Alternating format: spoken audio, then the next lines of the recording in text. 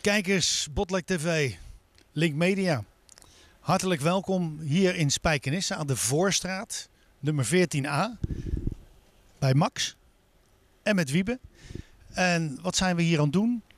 We willen heel graag in het kort van Wiebe Pannenkoek, secretaris van het Deltaport Donatiefonds, weten van wat dit fonds allemaal doet en kan doen. Wiebe Pannenkoek, Deltaport Donatiefonds. Wat houdt dat in? Ja, Joop, dat is een fonds dat is opgericht door het havenbedrijf Rotterdam. En samen met zeg maar, de bedrijven langs de Waterweg uh, is dat een burenfonds, zoals het genoemd wordt. En dat betekent zeg maar, dat er allerlei donaties gedaan worden aan verenigingen en stichtingen. Die zeg maar, culturele, maatschappelijke, sportieve uh, zeg maar, uh, projecten op touw zetten. Ja. En daar kan iedereen uh, gebruik van maken? Nee Joop, niet iedereen kan natuurlijk een beroep doen, uh, want anders zou elke particulier iets leuks verzinnen. De stichting die uh, betaalt alleen nog maar aan, of de Delta Port Donatiefonds betaalt alleen maar aan stichtingen en verenigingen. Dus dat is zeg maar een voorwaarde om een beroep te kunnen doen op een donatie. Dus dat houdt in dat je statuten moet hebben, huishoudelijk reglement ingeschreven staan, Kamer van Koophandel? Ja, dat klopt. Dat soort bijlagen moet je bij je, uh, bij je aanvraag meesturen. Ja.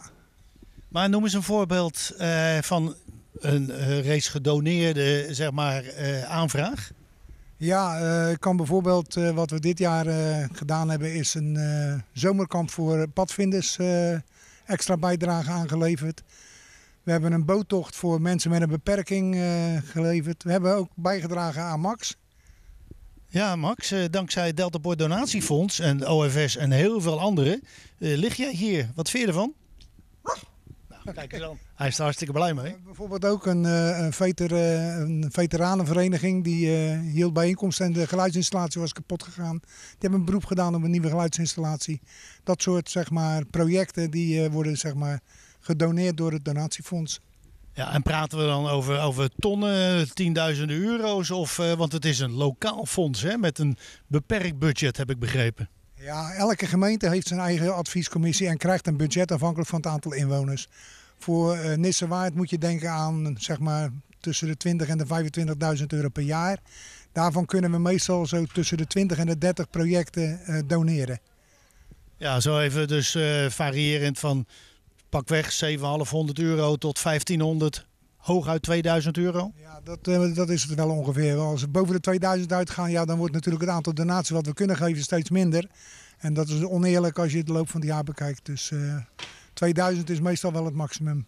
Het is een beetje smeerolie, uh, aanjaaggeld om te stimuleren, kan ik me zo voorstellen.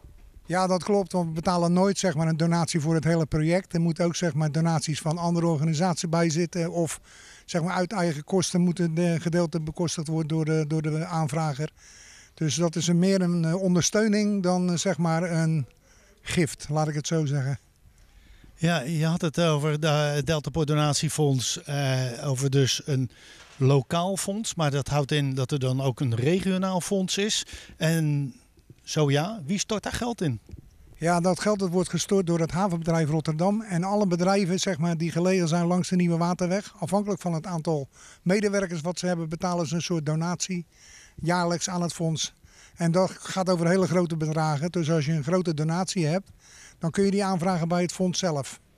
Een regionale aanvraag als het ware. Ja, nou ja, eh, je gaf al even aan. Eh, de hond Max, gemaakt door Tineke Nusink. Uh, we staan ook voor, uh, we zitten hier moet ik zeggen, voor het uh, pand waar de slagerij van de familie Levy tot 28 oktober 1942 gevestigd was. Toen werd die familie weggevoerd en nooit meer teruggekomen. Max symboliseert het verdriet, maar ook de nagedachtenis, niet alleen van de familie Levy, maar van alle Joodse mensen in Nederland die zijn weggevoerd. 106.000 Joden. Um, ja, dat zijn wel mooie zeg maar, uh, bedragen, maar ook uh, dat er met een bepaalde filosofie wordt geschonken. Kan ik me zo voorstellen. Want als ik een, een beeld voor Poetin zou willen neerzetten, ik geloof niet dat jullie meedoen. Nee, dan doen we niet mee, Joop. We hebben zeg maar, een adviescommissie, bestaat uit zeven mensen voor Nissewaard. En we bekijken inderdaad wel of zeg maar, het een algemeen doel is. Het moet zelf wel zeg maar, iets algemeens en ten nutte van de maatschappij zijn. Ja. Nou ben jij secretaris.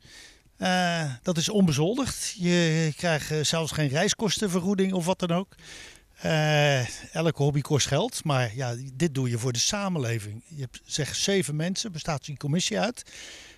Um, dat is toch eigenlijk wel mooi dat jullie dat doen? Ja, dat vind ik eigenlijk wel.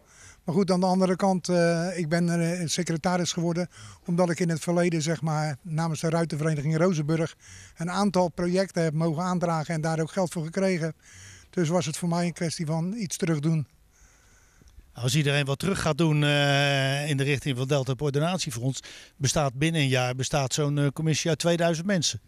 Ja, waarschijnlijk wel. Maar goed, niet iedereen heeft die inborst, laat ik het zo maar noemen. Ik heb begrepen dat ook uh, burgemeester Fort van Oosten uh, er iets te maken mee heeft. Ja, dat klopt. Van elke zeg maar, lokale adviescommissie is de burgemeester het hoofd. En die is ook, Fort is er ook echt daadwerkelijk bij betrokken. We vergaderen ook altijd in zijn kamer op het stadhuis. En hij doet ook heel daadwerkelijk mee aan het zeg maar, beoordelen van de aanvragen. Uh, verstrengeling van belangen in de algemene zin, maar ook gemeentelijk. Ik kan me voorstellen dat als de gemeente ergens geld in stopt uh, uh, voor een bepaald project, dat dat niet altijd overeenstemt met de, de statuten van het Delta Donatiefonds. En dan kan de burgemeester hoog en laag springen, maar dan zegt zo'n commissie van nee meneer burgemeester, dat gaan we niet doen. Of zie ik dat anders? Nee, dat zie je goed door Joop, want zo gauw zeg maar er verstrengeling van belangen is, dan uh, gaat degene die het aangaat, die, die stemt gewoon niet mee. En anders uh, wordt er wel door een ander aangegeven, hey, luister eens, je bent te dicht hierbij betrokken, eventjes uh, je stem tezijde leggen. Een voorbeeld is bijvoorbeeld de gemeentelijke kinderboerderij die een aanvraag heeft ingediend voor een educatiepaneel. En daarin stemt bijvoorbeeld voort, omdat hij vanuit de gemeente ook daarbij betrokken is, dus niet mee. Dan gaat hij even koffie drinken of even de kamer uit? Ja, meestal koffie halen voor ons. ja. ja. Nou, u ziet het, de wonderen zijn de wereld niet uit. We hebben hier gewoon een hele dure koffiejongen in deze gemeente. Fort van Oosten, die koffie haalt voor uh, de mensen van uh, het, uh, het, comité. maar dat geeft ook de sfeer aan, kan ik me zo voorstellen, dat die, dat, dat wel goed zit. Ja, ik moet daar, ja, daar kan ik niet anders dan op antwoorden positief. Ja, iedereen is erbij betrokken. En we hebben vanaf de coronatijd hebben we ook aanvragen via e-mail moeten behandelen. Nou, en dat gaat dan ook op een goede manier en dan wordt er gewoon een goede stemming gehouden. En wat we ook doen is, zeg maar, als het uh, te close is, dan uh, wordt er gezegd van, dan doen we dan niet. Als zeg maar een groot gedeelte van de commissie tegen een bepaald voorstel is, dan zeggen we nou, dan, ook al is dan de andere met net één stem ervoor, dan zeggen we dan doen het gewoon niet. We moeten echt unaniem, als we de kans krijgen, moeten we unaniem voor zijn. Ja, het is in de grondwet scheiding van staat en, en, en kerk. Uh, dat is ook een klein beetje bij het Deltaport Donatiefonds. Uh, kerkelijke instellingen worden niet gesubsidieerd. Maar een activiteit die in een kerkgebouw plaatsvindt en niet zozeer gerelateerd is aan het geloof, dat kan wel? Ja, dat kan wel. Dat is geen enkel probleem. Maar een kerkkoor? Kerk, een kerkkoor, ja, dat kan. Als die zeg maar een vereniging is of een stichting. En ze hebben bepaalde donatie nodig voor bijvoorbeeld extra uitvoering of voor programmabladen. Dan kunnen ze een donatie aanvragen. Dat is geen enkel probleem. Dat is heel mooi. Dus uh, kijk eens, uh, Botlek TV, Link Media. Uh, heeft u wat centjes nodig? En wie heeft dat niet? Maar bent u een vereniging of een stichting of een club mensen met uh, ingeschreven Kamer van Koophandel? Wiebe Pannenkoek, makkelijk te vinden, Deltaport Donatiefonds, een e-mailadres of waar is dat te vinden? Ja, op de website kunnen aanvragen gedaan worden. Even een kleine aanvulling. Je moet zoeken op Deltaport met één O, poort dus Engels voor haven en niet op poort we zijn wel de poort van Europa, maar dat is niet de website. Het is Delta Port Donatiefonds. Daarin zitten formulieren voor zeg maar, de lokale en de regionale aanvragen. Regionale aanvragen moet je denken aan, uh, die komen zeg maar, boven de 10.000 euro. Want ja, die, uh, dat geld kunnen wij dus niet missen. Want dan hebben we geen ruimte meer voor andere aanvragen. Ja. Nou, uh, namens Bottelijk TV Link Media wensen we je niet alleen een goede gezondheid, maar vooral ook veel nieuwe aanvragen in beperktheid, dames en heren. Want als u iedereen 10.000 euro gaat aanvragen, nou, dan gaat hij regionaal.